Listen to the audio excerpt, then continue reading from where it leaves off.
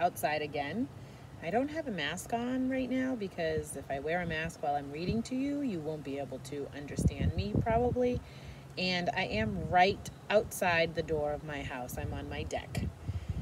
But if you go outside, you are supposed to have a mask on. Let me show you my shirt. It's got one of my favorite movies on it. This is the Tin Man. He kind of looks like he's a cupcake. The brand is Johnny Cupcakes. But it's Tin Man from the movie The Wizard of Oz, which is one of my favorites. Anyway, we are talking about animal teeth. So what if you had animal teeth? We've heard about beaver teeth and about a narwhal's tusk and about elephant's tusk and great white shark teeth.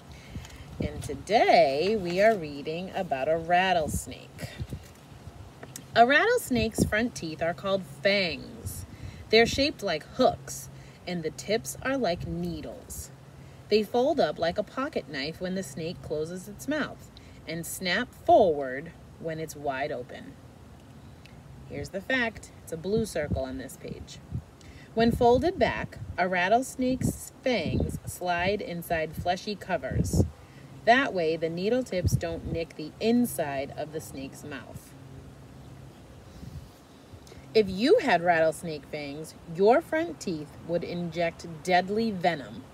Venom is poison. So your teeth would be all you'd need to fight enemies or to catch food to eat.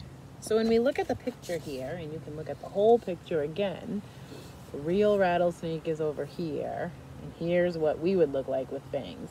You see these little droplets that are there, and also right here, and also right here?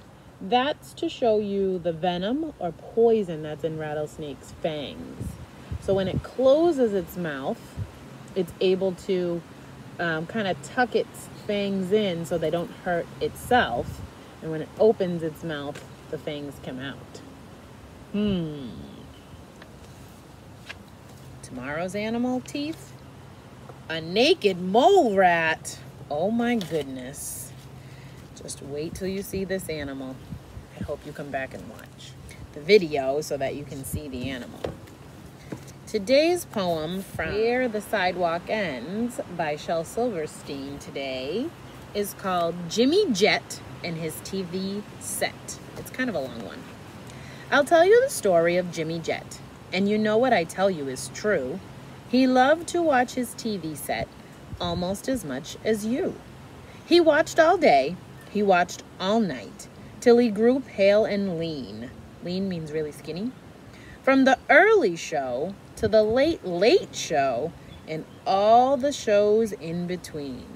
He watched till his eyes were frozen wide and his bottom grew into his chair and his chin turned into a tuning dial. That's like a little knob you turn to, to change the channel on some old TVs and antenna grew out of his hair. And his brains turned into TV tubes, and his face to a TV screen, and two knobs saying vert, vertical, and horiz, horizontal, grew where his ears had been. And he grew a plug that looked like a tail. So we plugged in little Jim.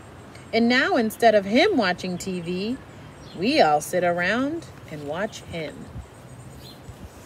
Oh my goodness. Jimmy Jet watched so much TV that he turned into one.